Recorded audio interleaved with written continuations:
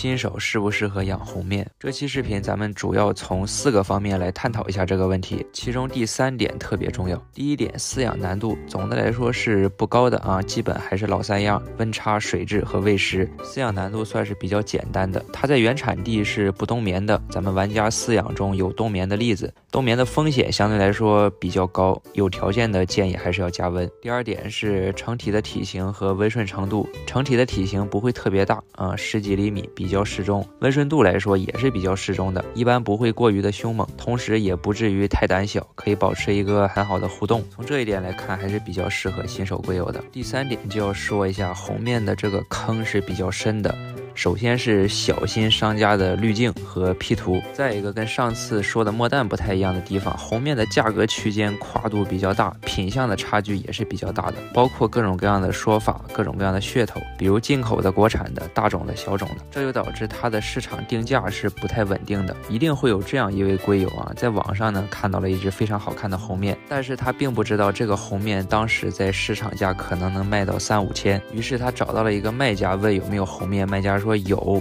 给他看了一个小苗子，贵友看到以后，把网上的那个图片发给了卖家，说你给我发的这个小苗子和这个红面怎么不太一样？卖家说，我这个也是进口的苗子，长大了就是那样。于是贵友就问了一下卖家价格，卖家说今天放个特价，五百块钱你拿走。这位贵友养龟的时间不长，之前养过麝香，五百块钱觉得有些贵，但是想了想网上那张图片实在是太漂亮了，咬咬牙买了。收到以后养了半年，发现和别人家两三百的没什么区别。说这个例子呢，其实就是想给这些新手龟有一些建议啊。首先要弄清楚你想要的是什么，是红面蛋龟还是脑袋通红的红面蛋龟。如果喜欢红，那就买已经红了的红面蛋龟。当然，此时的价格注定不会低。新手龟友尽量不要选择价格非常高的苗子，因为它赌性比较大，容易翻车。最后补充一个保值问题：红面的价格和颜色成正比，也就是说呢，越红越容易卖个高价。而如果想要保持红面的颜色，并不是那么的容易，因为你并不知道这只红面优秀的颜色背后是否有什么其他的秘密，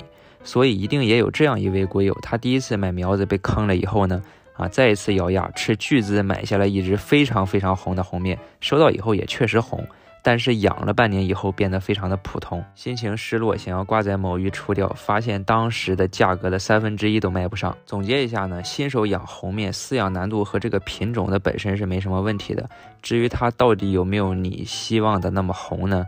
呃，这个就要看缘了。视频里的这只呢是一个我养了四年的红面啊，你看它也不是很红，是吧？嗯，本期视频就到这里，喜欢我的视频大家可以点关注，我是鱼司机，咱们下期再见，拜拜。